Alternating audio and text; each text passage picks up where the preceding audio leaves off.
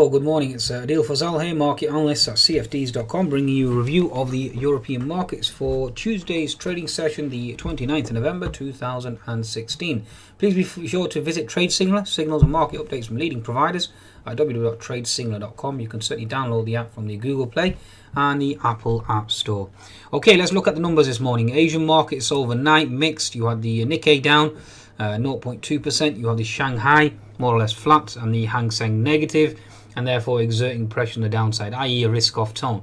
We all, we already have concerns with regards to Italy. Okay, although the banks are uh, bouncing this morning, nevertheless the uh, the bias certainly is bearish given the political uncertainty in France as well, and obviously U.S. markets under pressure too. We had a, a potential uh, a fraud allegation or uh, a fraud. Um, case put forward against Theranos. So again, looking for a potential top in biotechs and semicons, and obviously inadvertently the Nasdaq as well. Okay, in terms of economic data this morning, we have had some positive um, highlights. Now, inflation in Germany, import, uh, imported prices down, negative 0.1, but better than the last 0.8% negative. We had uh, uh, import prices on a month-on-month basis uh, up 0.3%. Forecast was 0.7, so again, um, euro certainly under slight pressure. Currently below that 1.06 handle okay? And again the euro really is going to be uh, subject to movements in the uh, french and italian uh, potential political uh, circumstances. Now in terms of uh, gdp from france more or less in line okay? Month on month year on year. And consumer spending actually came in stronger than expected. So that's giving france a potential bump as well.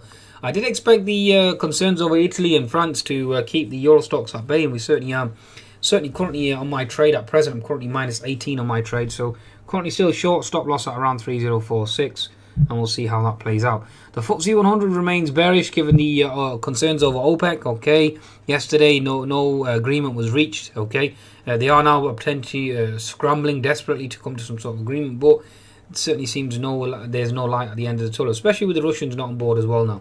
Okay, so again, there's going to be statements, counter statements, rumors, etc., etc and so far nothing okay? In terms of UK we've had mortgage data coming strong in coming in stronger okay? Potential credit uh, conditions certainly improving and mortgage approval certainly higher as well. So that does help the FTSE to a large extent. But again like I said it does remain um, held or should certainly held ransom by uh, OPEC at present. Obviously we have Italian concerns as well Okay, now let's look at the actual technical picture now. Let's bring up the German DAX. Why? Because we have had a, an impressive thrust this morning. So let's go to the daily chart as always first. Look at the bird's eye view. Okay, daily chart. We go to the 60 minute chart now. We're still below the uh, HNS neckline, so buy still remains bearish. Okay, folks, buy still remains bearish on the German DAX. You're still making lower lows, lower highs, and that HNS target of 10430 certainly does remain uh, intact. So again, watch out for that potential uh, zone. We have had an impressive thrust higher this morning. Uh, it looks like we've certainly held that support below at the uh, 10 550 zone okay? In terms of german dax resistance now these are your key resistance zones so 10 10 630 10 620 watch out for those zones. You do have an unfilled gap above at 10 700 but there is no catalyst for that to close at present okay? So again you are going to look at resistance at this juncture okay? In terms of the uh, French CAC, let's bring up the French CAC again. It has been, been helped by stronger consumer spending, but we are now into gap fill resistance. Okay, so given the fact that we're into gap fill resistance, you are looking for a, a risk-off move here at this juncture. Okay, uh, impressive move from the 4495. Very very impressive move. Good good uh, nice thrust higher, but now looking at resistance. Now we're still below the HNS neckline, so um, the um, the actual HNS still remains intact. Okay, uh, we do need a, a, a, flush here now to get to the potential target of 10430. Okay, so bear that in mind. Looking at the FTSE 100 now quickly. Okay, let's look at the daily chart. Again, FTSE remains uh, suppressed due to one Aberdeen Asset Management. Certainly negative today, uh, weighing on the FTSE. We have OPEC concerns as well, weighing on the FTSE. Okay, and it's just ever since the failed budget, the FTSE certainly has been weak. Okay. 60 minute chart, moving on to the 60 minute chart now. We do have multiple areas of support, zones of support at 6760 now, then 6750, then we have 6740, and then ultimately is 6715. So it would be interesting to see how we play out. Now, at present on the 60 minute chart, you clearly see there's a bear flag, okay? So how, how much of that bear flag plays out, again, it will be dictated by OPEC.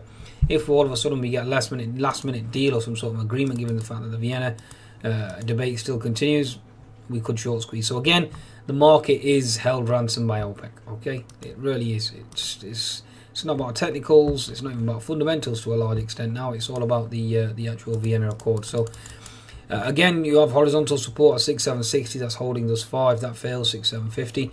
If the market does actually start to rip higher, again, like I said, anything can happen. As a trader, you need to be uh, aware that anything can happen. Okay, you can't have a preconceived or marry a certain or uh, shall we say hold on to one potential opinion uh, the market is flexible and you should be flexible too. So again, the FTSE is flushing yet uh, at present.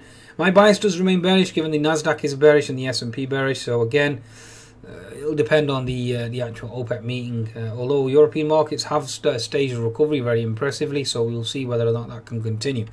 Okay, so FTSE itself still lower lows, lower highs. Okay, we'll test. We'll be tested at six seven sixty whether we can make, continue to make a new low. Okay, folks, on that note, I think that's a good summation of where, where we stand. Be sure to visit cfds.com for your trading needs and take advantage of the bonus. Goodbye now.